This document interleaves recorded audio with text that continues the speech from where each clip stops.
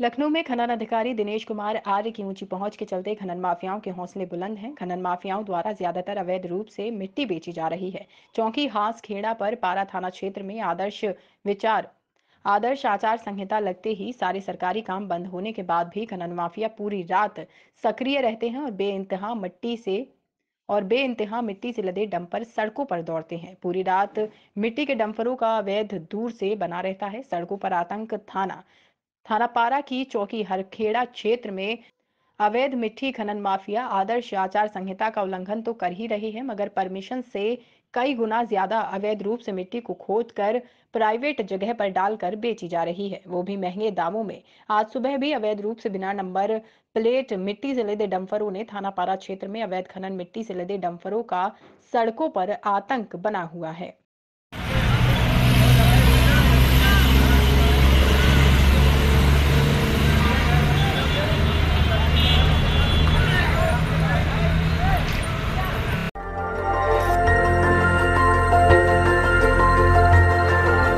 देखते रहिए डीवी भारती समाचार नज़र हर खबर पर।